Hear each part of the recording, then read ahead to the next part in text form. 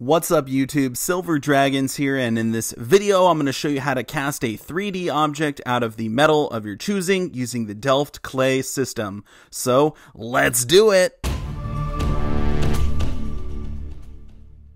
Thank you so much for watching my video. I do sincerely appreciate it. This is going to be a simple video here, just showing you a little casting. This is how I do it. As I mentioned, we'll be using Delft clay. There's only a few things you actually need to do this. This here is called a flask. It's made out of iron. Really simple mold. It just has two sides to it, the male and the female side there. They just fit together nicely. If we can get it, there we go. They fit together like that. And then you'll pour your metal into the top. Now the first step is going to be to put clay in the bottom and then we'll press the piece into it after that. I'm going to show you the entire process so you know exactly how to do it for yourself. Now the clay that I'm using is called Delft clay, but you can also get Petrobond. You squish it together and then it will hold its shape really well. So I'm just going to pack it into the bottom of this mold here. Now while I'm packing the clay in here, I just want to mention you can use tons of different metals for 3D casting. You can use copper, silver, gold, uh, sterling silver, brass, whatever you want to use. Uh, I'm going to be using silver in this video because I love making stuff out of pure silver and I'm working on a pure silver chess set. So now that we have the clay all packed into the bottom, we'll go ahead and scrape it off so it's nice and flat. Usually I like to flip it over and scrape off the backside as well, just so we have an even working piece here. And the next step will be to actually press the piece into the clay. Now, when you're doing this, you want to make sure that you press it only about halfway. It's very important that you don't go over halfway or under halfway because you want the other half of the mold to have basically the mirror image of this side. If your 3D piece has two different sides, that's okay. Just try and find the middle like this. You can also see that the clay is very flat, which is exactly what we want. We don't want it coming up in one spot or dipping down. So the next step will be to put powder on the top so that the two halves of the mold break apart easily. This is called talcum powder, but you could use baby powder or something like that. Doesn't really matter. And then I have this bulb device that we're going to go ahead and blow off some of the powder so that there's not too much excess. I find it's best when there's just a little bit separating the two pieces. After that's done, we'll put the other half of the flask together, and then we're going to go ahead and pack this side with clay. You want to pack it nice and tight. Usually what I do is press it down with my hand until it's you know, about as hard as I can, and then I'll hit it with the hammer and get it a little tighter, and that's going to be the best way to do it. You don't want to pack it too tight, otherwise it might start to crack, but get it nice and tight so that the piece will end up looking good in the long run. So after that's done, we can go ahead and move all this to the side and then we'll break it apart and see how it looks. This is looking really good. You just want to make sure both halves are complete. The next step is to make a channel for the metal to flow into. I'm using the back half of a drill bit. Take your time with this. There's no sense in rushing it and ruining the mold you just made. Then when pulling out the piece, just pull it straight up and if there's any spots that start to collapse in, try and fix them with your fingers so you don't have to redo the whole thing. Make the channel on the other side and you kind of want the channel to be a little bit wider at the top. What I'm doing now is drawing some lines with a toothpick for air to flow into, and these lines you just want to put on any corner of the piece. Another thing you can do is actually poke a hole all the way through to the other side to let a little bit more air escape. This is really important on detailed pieces, but if the piece you're doing is very simple, then it's probably not needed. Next, we're going to be putting the two halves together. You just want to make sure there's no excess clay that will actually ruin the mold. So once you slap them together like so, you can go ahead and put some rubber bands around them so they don't come apart at all. I find using rubber bands works the best because you don't have to worry about clamps or anything. And now we're all ready to pour. As far as melting goes, you can use a setup like this. This is my oxygen acetylene torch. And then I have a whip as well. You'll just melt the silver in there and then pour it out into the mold. But an easier strategy is using this right here. This is my furnace. We're going all the way up to 1095 degrees Celsius, which is about 2000 Fahrenheit. You can see the silver is already starting to melt down nicely. And then once it reaches full temperature, we're going to go ahead and pour it in. Now for the pouring process, I kind of block it here with my hands, but you just want to make sure you pour it really fast. It's okay if you pour a little bit too much because we're going to cut off the top anyway, so that doesn't really matter. As you can see here, I filled it uh, not all the way to capacity but a little bit overflow.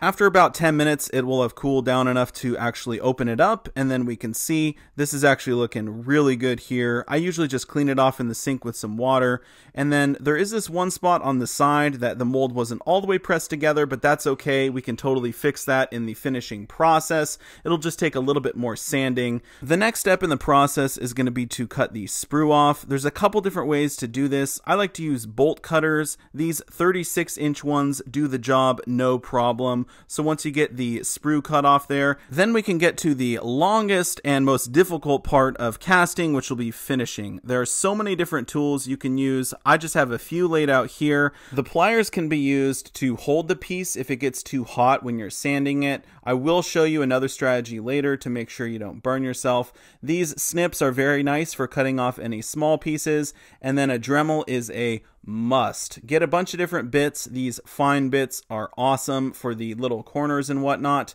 And then you're going to need some sanding drums as well. There's a bigger one and a smaller one for the sort of tighter areas. Sandpaper is very key for getting a polished look at the end. Now we're just going to start removing different parts with our snips. If you have some bigger snips, those can be useful in removing the larger pieces. The smaller pieces, you just sort of want to clip those away. And take your time that you don't clip too deep into the piece because if you remove something, it's almost impossible to put it back on. Now I'm going to use the really fine Dremel bit to get all of the little corners that I can't reach with anything else. For the sanding drums, I start with the smallest one and then just work my way up from there. Once you get to the larger ones, you will notice that the piece will start to get very hot, especially if you're using a metal like silver that's a great conductor of heat. So I use this vise to hold the piece in place. I use some cloth in between there. A lot of jewelers will actually use a wooden one so they don't damage whatever they're working with, but this is just a cheap workaround.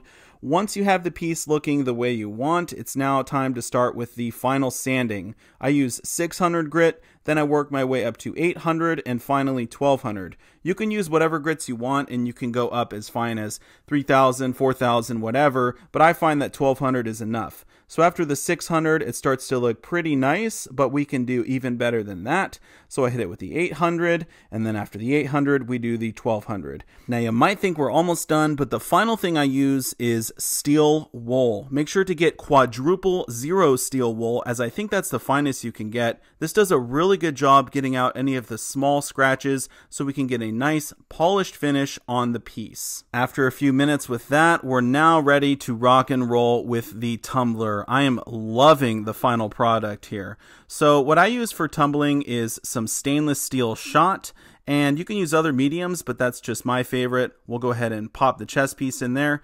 Shine Bright solution is my favorite compound to actually get that nice finish. This here is the Shine Bright with some water added to it. You don't want to fill it up too much, just a little bit over the top, and then we're going to go ahead and put the lid on, and we can begin the tumbling process. When I first started making stuff, I would tumble anywhere from 1 to 2 to even 12 hours, but after a while I realized you really only need about half an hour of tumbling, and then it's good to go. So once we take the top off here, you'll see it's actually super soapy, but here is the final chess piece in all of its glory.